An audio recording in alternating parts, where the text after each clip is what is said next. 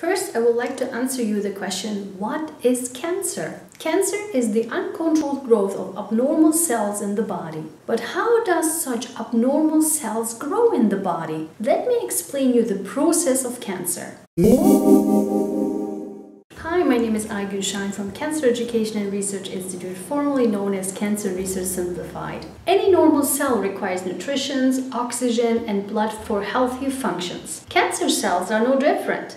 However, because they're growing so rapidly, they need such essentials in excess. Cancer cells genome, or as we also call it, the total genetic content, has changed so much that it not only favors the rapid growth of such cancer cells, but it also helps them to survive under extreme conditions, such as low supply of oxygen and nutrition. The way they do this is because of their ability to modify their energy metabolism so that they can grow rapidly but also simultaneously reduce or minimize their need for nutrition and energy. If this wasn't enough, cancer cells can also develop resistance to specific chemotherapeutic agents. On the other hand, cancer cells can also escape the immune system or escape the immune system cells, which we also call tumor surveillance, and help them to grow further in the body. All of these factors are the reason why cancer is such a daunting and dangerous disease. Imagine that cancer cells are a blood-sucking vampire thirsty for blood. As long as cancer cell has a necessary blood supply, they are less likely to die. As you can imagine, the human body, which contains a lot of blood vessels, are a perfect environment for such cancer cells to grow. In fact, cancer cells try everything possible to ensure that they have the necessary blood supply. The body's process for developing blood vessels is called angiogenesis. Let me write that down. Angiogenesis. Angiogenesis. Cancer cells are pretty much hijacking this mechanism and they're redirecting the development of blood vessels towards themselves so that they can create their own blood supply.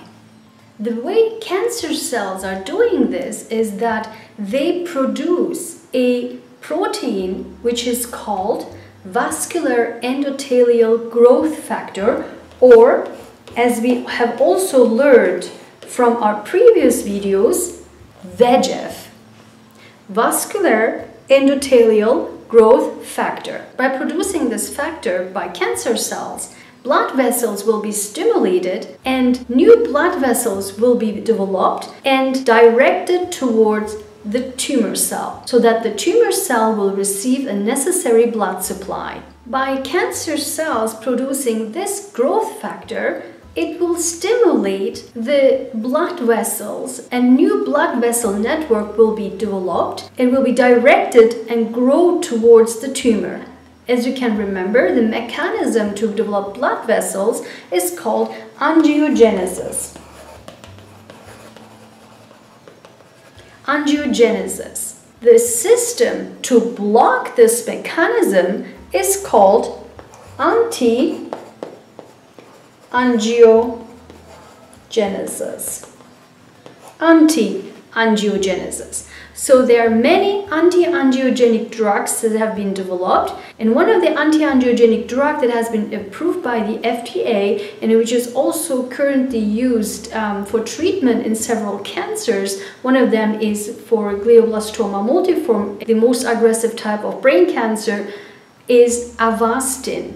Avastin is an anti-angiogenic drug that blocks the development of blood vessels. As I mentioned before, cancer cells have their own way of continuing their life cycle because of their changes in their genome, or as we also call it, the total genetic content. There are several genetic abnormalities that can contribute for cancer cells to develop. One of them is oncogenes.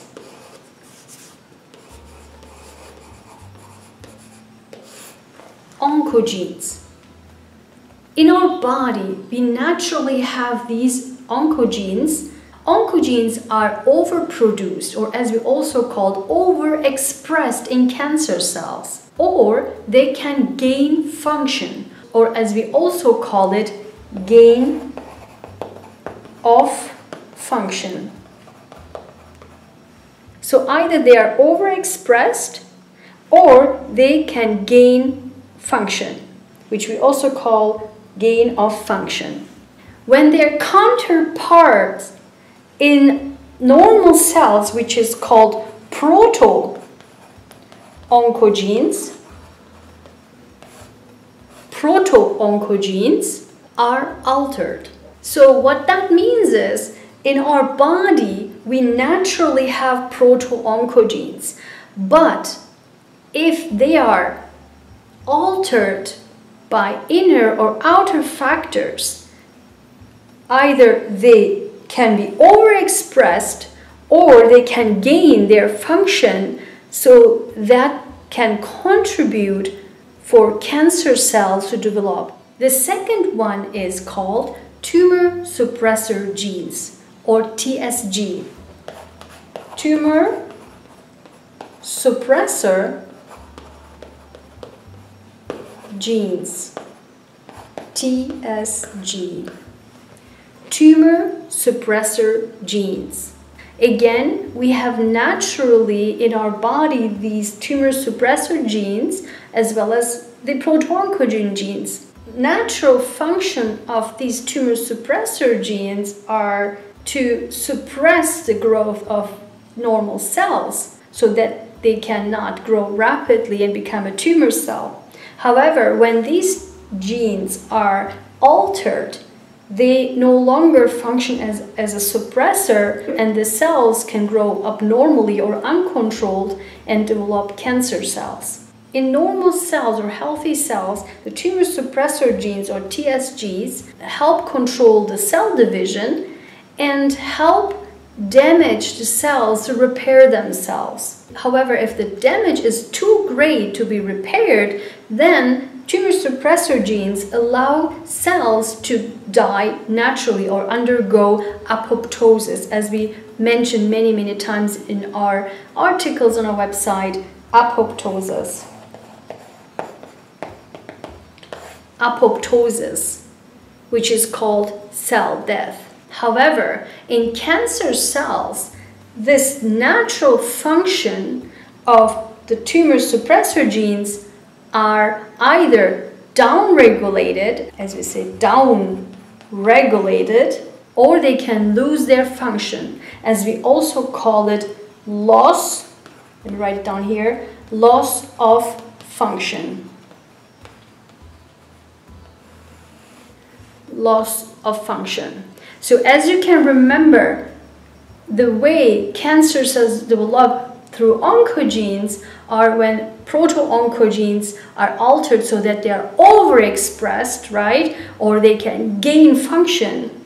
However, the tumor suppressor genes are the opposite. When they are altered, the expression of tumor suppressor genes are downregulated or reduced or they completely lose their function. So it's kind of like a gas pedal and brake sort of mechanism that we have in our body. When they're altered, no longer cells are either naturally die and undergo apoptosis or they can regain their functions and become a cancer cell. So either way, if either of these genes are altered, that causes cancer cell to develop. There is a third factor, which is called telomerase.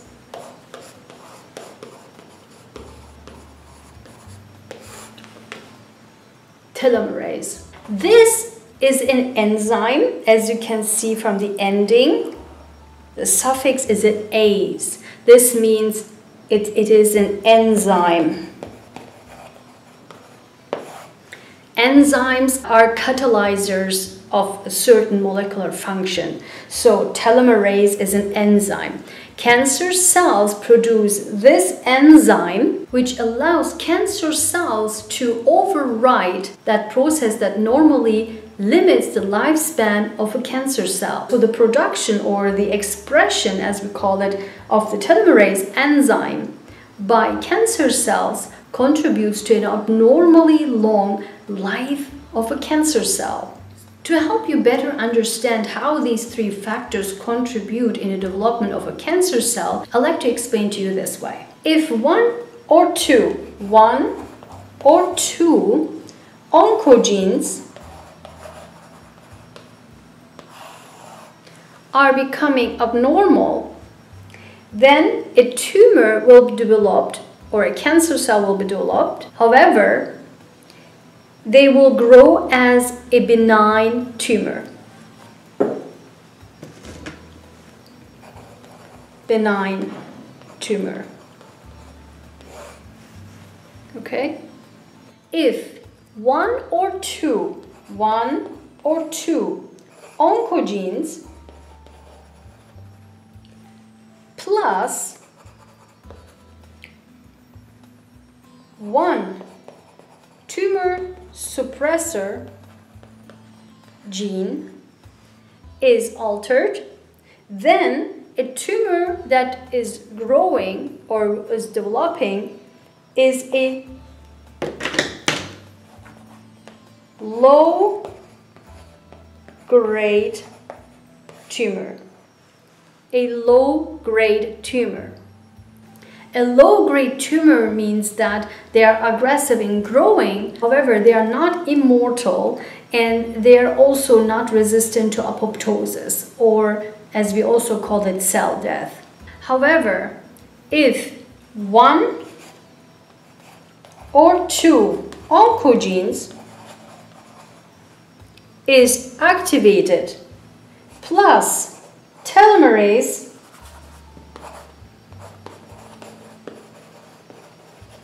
is activated plus a tumor suppressor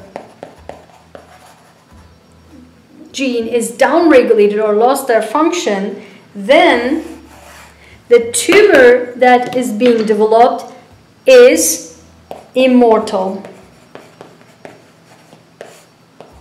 There, it is a high degree of tumor it is immortal, it is metastatic, and is also resistant to cell death. This also brings us to metastases, which we'll be covering in another episode.